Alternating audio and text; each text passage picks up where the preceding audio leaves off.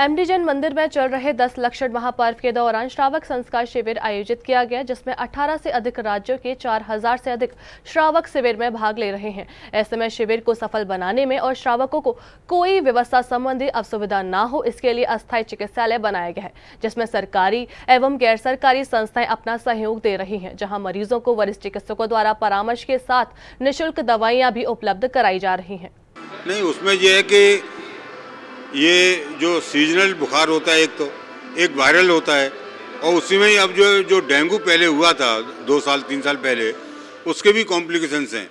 अच्छा डेंगू जो है, ये पानी में पनपता है, जैसे कहीं आपके ये कूलर वगैरह जो पुराने रखे रहते हैं, उसमें पानी भरा रहता है, या कहीं गड्ढा वगैरह हो, वहाँ पे वो होता है तो उसमें ये बहुत जल्दी पनपता है। वो मैंने बताया ना अभी आपको कि उसमें डेंगू के कुछ लक्षण आ जाते हैं। वायरल के साथ में डेंगू और प्लस कभी कभी टाइफाइड भी उसमें डेवलप हो जाता है।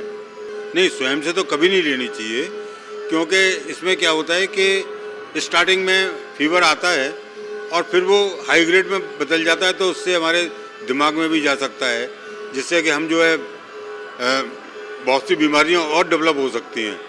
तो अपने आप नहीं लेना चाहिए।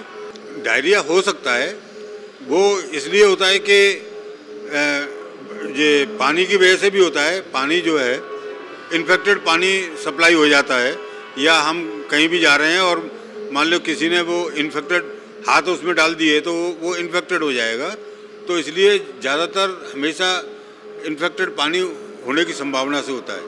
उसमें यही है कि जब भी हम पानी पिए या खाना खाएँ, उस समय हमें प्रॉपर हाथ धोने चाहिए और जगह जगह पानी जो है ना, देखभाल के पीना चाहिए।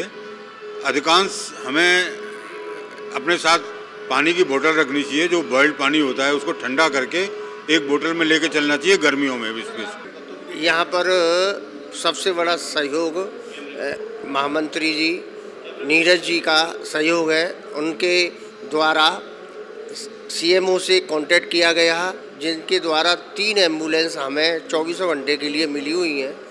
और कुछ फार्मासिस्ट हैं, वो यहाँ पे सुबह से शाम तक बैठ रहे हैं। और जो फिजिशन डॉक्टर हैं, ये हमें बहुत बड़ा टाइम दे रहे हैं और निशुल्क सेवा दे रहे हैं। यहाँ पर जो शिवरात्रि हैं, इनको सबसे बड़ी प्रॉब्लम क्या आ रही है?